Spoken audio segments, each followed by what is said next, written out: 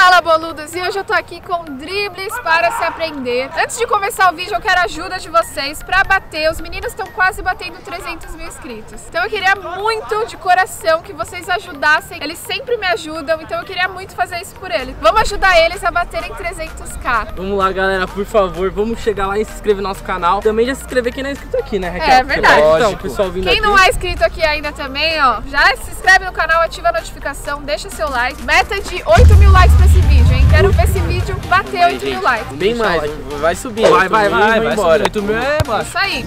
Então vamos lá.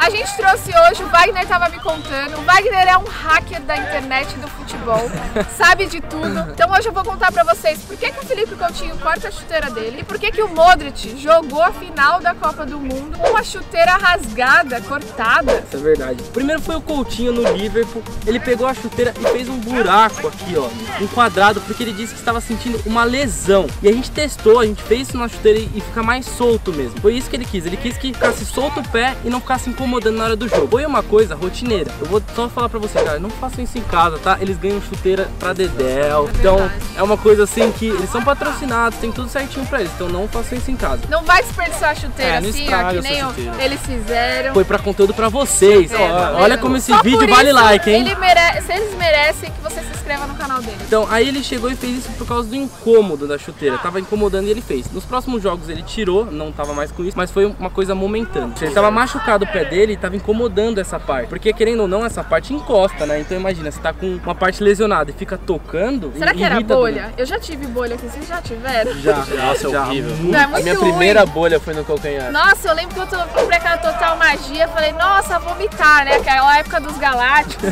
Falei, vou chegar na quadra, assim, todo mundo vai pagar pau pra minha chuteira e vou meter golaço. Primeiro dia que eu usei a chuteira, eu saí com umas cinco bolhas no pé. E a maioria era aqui atrás, porque era muito duro, né? Foi uma época que eu tava com problema no calcanhar e naquele momento que foi, foi rápido, a única coisa que, que tinha a fazer era isso.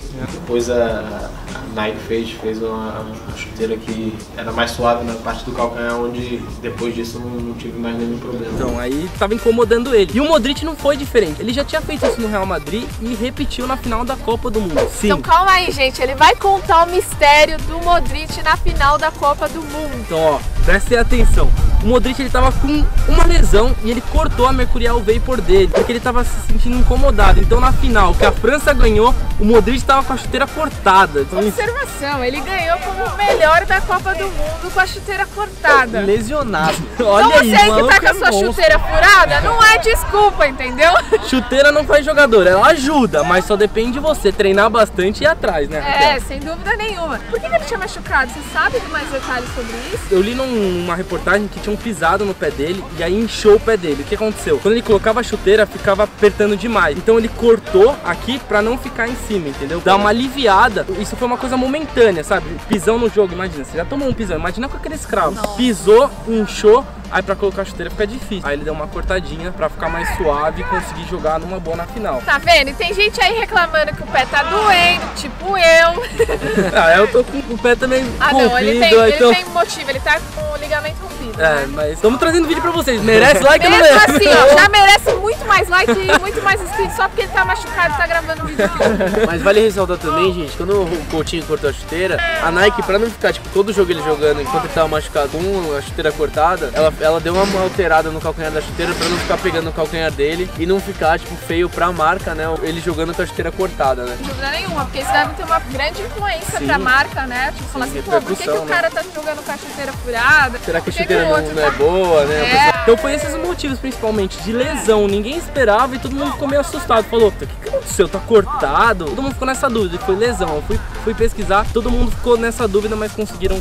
The Mirror, teve alguns jornais que soltaram essa notícia. Entendeu, Raquel? Agora você Isso tá. Agora eu tô atualizado, informada. atualizado. Eu tô informada, vocês de casa também tá informados. Os meninos mitaram nas informações aqui. Tem muito vídeo top no canal deles, vídeos viralizados. Eu tô sempre acompanhando, viu? Ó, até isso, roubo, eu roubo, as, roubo as ideias tudo do canal dele. Olha, olha, Que isso? Ao vivo? Ao Vazando vivo. informação aqui.